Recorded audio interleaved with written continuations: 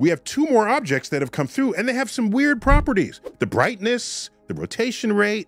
And so they don't match some of our models for what comets and asteroids should do. Whatever anomalous behavior these objects exhibit, I'm delighted that they're finally in the catalog and we'll figure it out one day.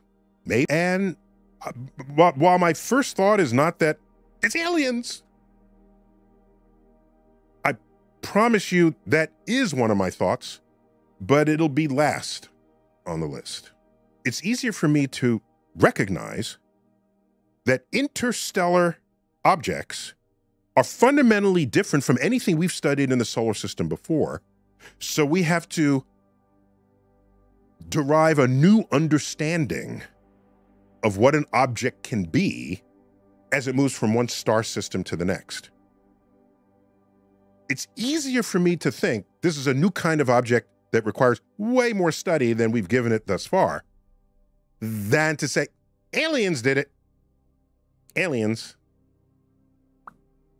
Based on my read of history, and I do a lot of reading of history, I have a certain resistance to swapping out God of the Gaps and replacing it with Alien of the Gaps.